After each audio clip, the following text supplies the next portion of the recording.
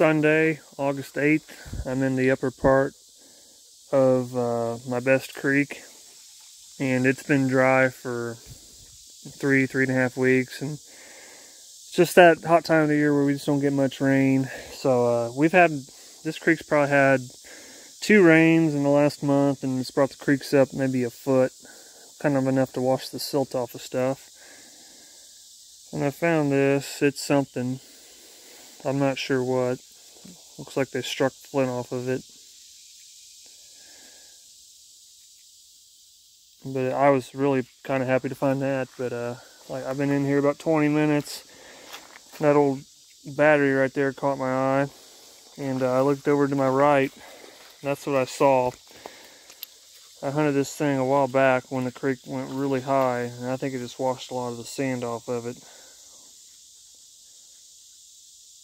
But man, it looks really good. Oh, Lord.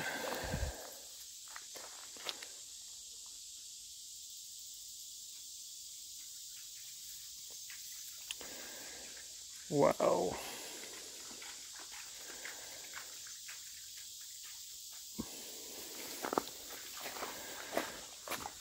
I probably won't find anything the rest of the day, and that's perfectly fine with me. Wow, what a dandy.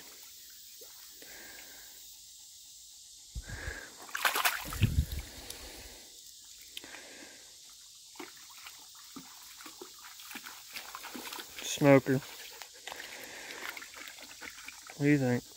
Alright, well. We are going to keep looking.